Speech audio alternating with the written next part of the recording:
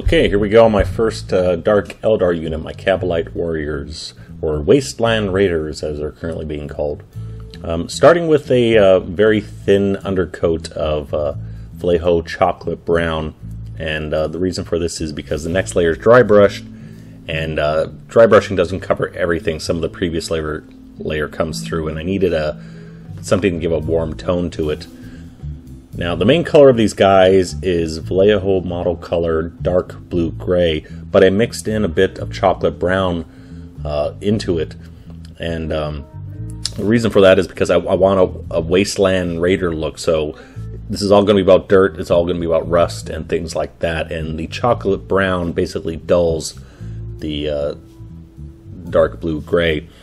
Um, but it does pose a few problems, which I will. Uh, explain shortly. Now to that color, I mixed in some Vallejo Game Color Electric Blue.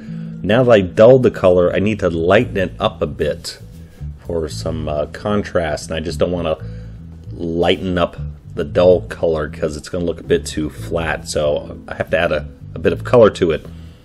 And the problem here is normally when people highlight, um, they're always worried. They tell me, "Oh, I don't. I'm afraid I won't mix the same color twice." And I always say, "Don't worry about it. You know, it won't matter in the end once you paint like 10 figures." This is different because I'm not just mixing darker and lighter shades. I'm mixing different tones by adding brown and now adding a very light blue. And it's extremely difficult to get the same tone twice on each and every figure. So uh, I'm going to have to change this paint scheme up for the rest of the figures in the project. But continuing on with what I have here, uh, next highlight is uh, mixed to the previous mixture, uh, mixing in some Vallejo Wolf Gray, which is a very uh, cool light gray. And repeating this process twice, and as you see, both of these are layered uh, which helps cover up the previous dry brushing layer. You get the speed of the dry brushing, but still the clean look of layering. And working towards the uh, the natural highlights and also the uh, working up towards the edges of all the armor plates.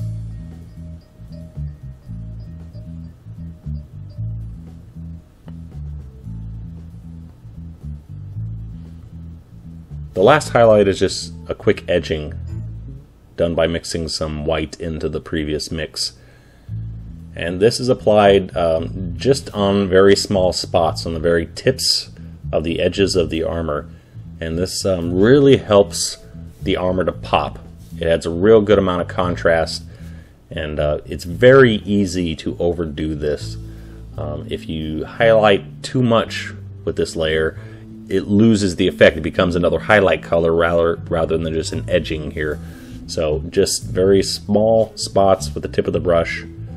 I don't want to overdo it and put it on all the edges or I lose the whole effect. Now I need a bit more shade and so I'm going back with the chocolate brown color and adding a bit of shadow to the figure. Um, again, this is all about weathering uh, this project. So this blue-gray color I used, if I was to shade it normally, I'd use probably some German gray mixed with some blue. But I'm not trying just to shade it, I'm trying to add the weathering effect to it as well. So that's why I'm using brown instead of a blue-gray mixture.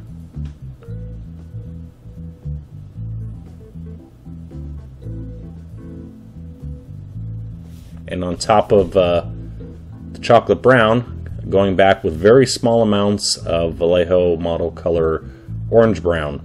There's going to be a lot of rust being worked into this uh, project, and uh, while I'm not rusting these particular figures up too much, uh, I still want that color to carry throughout the whole army. So just adding very small spots here and there of the orange brown um, in the cracks here and there, and wherever there's a large concentration of the chocolate brown. Now working onto the cloth area, which is very easily, simply painted. Um, starting with undercoat of model color Hull Red mixed with some model color uh, SS Camo Black Brown. And as you see here, trying to work in a lot of red on the figure. Again, going to be working a lot of rust into the figure later, and I want a lot of warmth in the other areas. Um, the main base color for the cloth is uh, model color flat brown, again, which is a very warm brown, has a, a good amount of uh, good amount of red in it.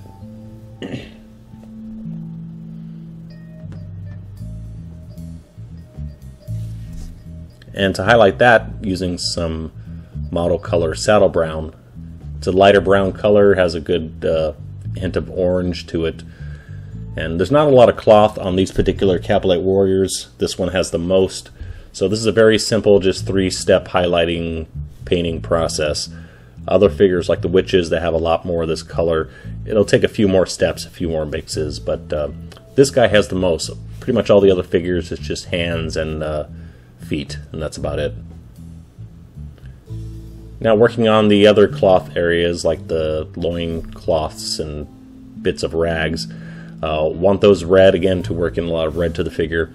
Starting with my standard undercoat of model color hull red, and to that mixing in a bit of flat red. Now I don't want a really intense red, again sticking with the, the faded look, the weathered look of a wasteland, wastelander. So I'm not trying to work all the way up to pure flat red, I don't want a very bright red. So this is just a little flat red mixed in. And then coming up in just a second, going to be mixing in a bit more flat red. Uh, but I'm not working up to pure flat red. So here we go with the second uh, flat red highlight layer.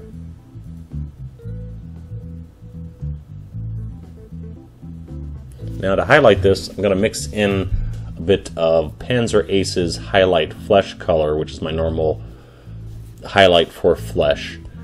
That's coming up right now. And uh, again, I want a, faded look. This is not a color I would normally use for uh, painting red, but the highlight flesh has a slight brown. It's very warm, very light color, and gives me a good faded red look, which is what I'm looking for. Um, moving up to the weaponry, um, this is uh, model air color steel mixed in with a bit of uh, Panzer Aces dark rust. Uh, this is going to get some improvement uh, later on. Uh, there's only a, a, little few bits highlighting here with um, some bit more steel added. But these figures don't have too much metallics on them. The vehicles will have a lot more, and I'll have to come up with a different scheme at that point. Uh, the other areas of weaponry are painted with uh, Panzer, excuse me, model color German gray, and then highlighted with uh, Iraqi sand. Again, it's all about the fading on this project, so I would normally use a light gray to highlight this color. Instead, I'm using Iraqi sand, which is more brown, to give a more faded look to the uh, to the weaponry. Now, for a bit of rust, I'm just stippling on some Panzer Aces uh, dark rust, and that's going to be followed with a little bit of light rust. And stippling on the sword here, and also the German gray areas is getting a wash of the uh, dark rust as well. Again, this is going to need a bit of improvement. I'm not too happy with the, the results of these colors. I'm not sure what I want to do with it yet. The last thing of importance to paint is the flesh, going for a slightly alien pale flesh look by using game color pale flesh mixed with just a tiny drop of uh, hex lichen. Um, since hex, hex lichen is such a dark color and pale flesh is so light, you just need a very, very small drop to make this mixture.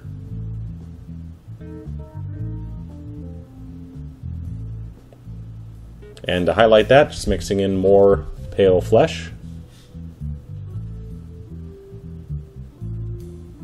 Normally, if I was using um, painting up a single figure, I'd be using a lot more layers, but uh, speed is of the essence on these uh, many, many guys. And now, um, believe I have here, again, adding a bit more pale flesh to the mix. This is almost straight uh, pale flesh. And you can see it's being painted on a, a smaller and smaller area each time, so the painting goes uh, faster. And then we got uh, straight pale flesh. You can see working up to the cheekbones, uh, bridge of the nose, top of the lip, a little bit on the uh, brows of the figure. And the last highlight, mixing in a, just uh, a bit of white to the pale flesh. And again, very small spots, so I get the good contrast. Just a spot on each cheek, top of the nose, a little bit on the bridge of the bridge of the eyebrows, um, maybe on the chin. Can't remember if the chin needed a highlight on this figure, but uh, then just painting some of the other accoutrements on the belts, and that is it. I got 10 Kabalite Warriors all done, finally. So, this project does need some improvement because trying to carry this throughout uh, on all these figures with the mixes I've been using has been way too difficult trying to match it every single time because since I'm mixing up different tones, I had a bit too much brown on that uh, first dry brush layer. It totally affects the the tone of the figure, or then mixing in a bit of the electric blue uh, again changes the tone entirely if I don't get it quite right. So I need to simplify the scheme, um, hopefully eliminate a step or two. Um, I'm hoping to keep roughly the same color scheme going on because I don't want to really have to strip these guys and repaint them because uh, that would uh, that would be a sad, sad day. But uh, there you have it. The first unit's done. Uh, the next unit to be painted, I don't know exactly which that will be, but uh, we will see shortly. And um, hopefully looking the same, but with a, a, bit more of a simplified scheme. But at least I have one unit done of my Wasteland Raiders. Thanks for watching.